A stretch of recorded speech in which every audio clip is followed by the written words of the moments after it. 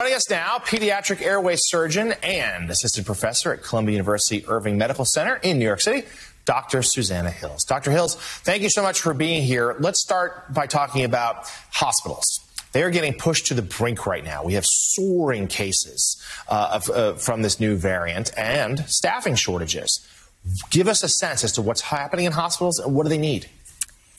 Yeah, right now we are just seeing so many cases that that is spilling over and causing a real crunch in our hospitals. We're topping now 700,000 new cases a day in this country. I mean, the number is staggering. It's twice the number where um, we were at this moment last year. And we're seeing that reflected in our hospitalizations. Uh, in the state of New York, 40 hospitals were asked over the weekend to stop elective surgeries because of the critical staffing and bed shortages in hospitals across uh, across my state here in New York.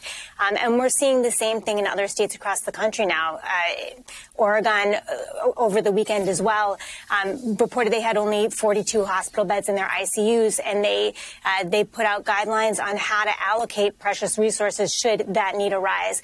So we're seeing it here in New York, certainly, and, and now we're seeing it across the country in other states as well. Right, and so much of it isn't that people are as sick as they were from previous strains, at least those who are vaccinated. But there's just so many people who are sick. It is straining resources. Let's get your take on what I just talked about this new variant that alleged seems to combine Delta and Omicron. That's not great. But more than that, whether this variant turns into anything or not, it seems to be further proof that this the pandemic itself isn't going away anytime soon. There seems to be the possibility, anyway, of new strains continuing to emerge, particularly if there are huge swaths of the country and the world that are not vaccinated. So, how are we going to handle this? Do you anticipate that we're going to need vaccines and boosters? Is that going to be part of a, a regular routine that we all get every six months or so? Unfortunately, I think you're right, Jonathan. Um, the shift right now in thinking really has to be from, you know, now how are we going to get past this surge and get beyond this virus to how are we going to live with this virus for the long term? And, and that's really where we are. Um, and the answer primarily is really vaccination. In our country and much of the developing world, vaccination rates are, are, um, are going reasonably well. But when there are countries across the globe with vaccination rates under 10%, um, you can imagine that this virus is going to continue to mutate and we're going to continue to see various strains. Hopefully, as we go on, we can help other countries get the vaccinations that they need. More people in our own country will get boosters right now. We're still at just above 30% of people um, who are eligible getting boosted.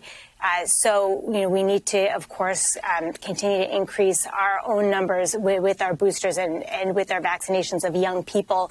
But it, it's a global issue, and, and we're not going to see a, a, a, slowing down of this virus or a manageable level of cases until we really get a vaccination level globally that protects uh, the rest of the world. Yeah, you've identified a, an important storyline there. The idea for these some of the wealthier countries do they prioritize boosters, third and fourth shots for their people, or help out the developing world get their first or second? Uh, Dr. Susannah Hills, we really appreciate it. We hope you will come back again soon.